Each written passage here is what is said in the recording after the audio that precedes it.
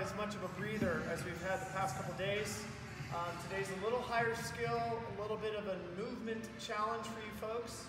Um, uh, and we're doing it in intervals. So um, Kyle's gonna be behind the camera and magically in front of the camera at the same time. My brother Lyle over there. Lyle's behind the camera, behind the lens. All right. Uh, workout today is gonna be eight rounds. Every two minutes we're gonna do a round. It's gonna be uh, 10 alternating dumbbell snatch. Only but Goldie, you guys all know the uh, standards for this. Both heads of the dumbbell start on the floor. Finish this dumbbell overhead. Don't use the other hand to help. You can switch in the air if you want. You can put it down, switch to the ground. I don't care. As long as you go hips, shrug, full punch. All right. Second movement in uh, the intervals a single arm overhead squat. So I know this has given people trouble in the past. So before you actually start the workout today, we want you to figure out if you can do these, do them safely. Um, so practice them. Practice them with a soup can, a gallon of ju- uh, water, something progressively heavier until maybe you get to your dumbbell weight, maybe not. All right. Um, single arm overhead squat. Try to keep your arm as close to your body as you can, stacked up over your midline. Everything else about a squat is normal. Sending your hips back, pushing up on the dumbbell. Okay, five on each arm. If you absolutely can't find your scale for the workout today, find a broom handle. Find PVC if you've got one. Find a rake. Whatever you got. Okay, just give me 10 overhead squats instead. All right? Um, and then finally finishing up each round with 20 double unders if you don't have them. You can do double tap drill or mountain climbers. So you guys don't know what mountain climbers. One, two, three, four for 20 reps. Cool? Cool. Ready? Let's do it. I don't got my VCF stuff on. Wardrobe change. Let's get it. Alright, stop what you're doing, cause I'm about to ruin the image and the style that you're used to. I look funny. But yo, I'm making money, see? So yo, world, I hope you're ready for me. Now gather round. I'm the new fool in town, and my sound's laid down by the underground. I drink a bottle of Hennessy you got on your shelf. So just let me introduce myself. My name is Humpty, pronounced with the umpty. Yo, ladies, oh, how I like to funk thee. And all the rappers in the top ten, please allow me to bump thee. I'm stepping tall, y'all. And just like Humpty Dumpty, you're gonna fall when the stereos pump me. I like to rhyme, funky, I'm spunky. I like my oatmeal lumpy, I'm sick with this. Straight gangster Mac. But sometimes I get ridiculous. I'll eat up all your crackers and your licorice. Oh, yo, fat girl.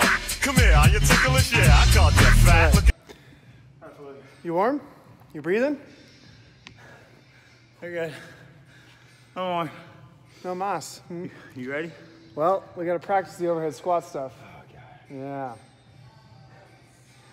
Not everyone's as good as you at single arm overhead squats. Hey, look at this squat. Yep.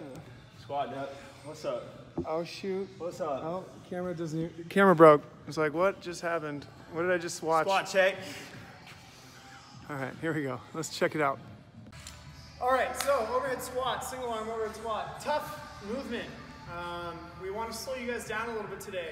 We don't want you to have to breathe as hard. We had two breathy workouts in a row. Tomorrow, depending on not, whether or not you recover, if you use it as an active recovery day or you just kind of mobilize and stretch it out, it's probably going to be breathy also. So today we want to slow it down, work a little bit more skill work, be a little bit more deliberate with how we move. Um, and the movements themselves demand that. So that's what we're after today. Pro tips for the overhead squat, single arm overhead squat. It's not as simple as just kind of pushing it up behind you and squatting. You're gonna have to twist a little bit. And you have to think about pushing up and back a little bit more than you normally do with a barbell. Okay, because the, the dumbbell wants to get away from you. It does not want to stay right above your shoulder, especially if you have tight shoulders. So this is gonna be a challenge for some of you folks. All right? But as long as you're letting your shoulders sit down and back, you're pushing up and staying active on the dumbbell, you give yourself a little tiny bit of a twist as you sit your squat. Notice how I'm kind of sitting to the side. Makes it a little bit easier to keep that weight right over my center base of support. Okay?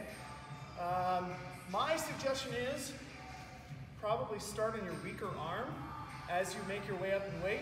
Makes it a little bit easier to kind of know what you're capable. That's already hard for me.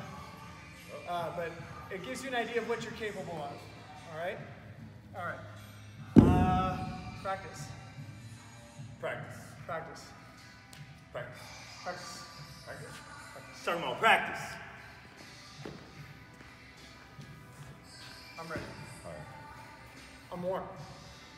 Look at me, I'm skinny. It never stopped me from getting busy. I'm a freak.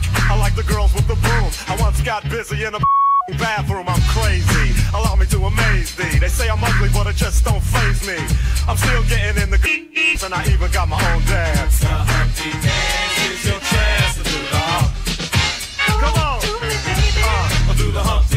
Come on, to do the Humpty Hump. Check me out, y'all. Do the Humpty Hump. Just watch me do the Humpty Hump. Yeah. Do you know what I'm doing? Doing the Humpty Hump. Come on. I do the Humpty Hump. I do the Humpty Hump. People say, yo, Humpty, you're really funny looking. That's alright, cause I get things cooking. You stare, you glare, you constantly try to compare me. But you can't get near me.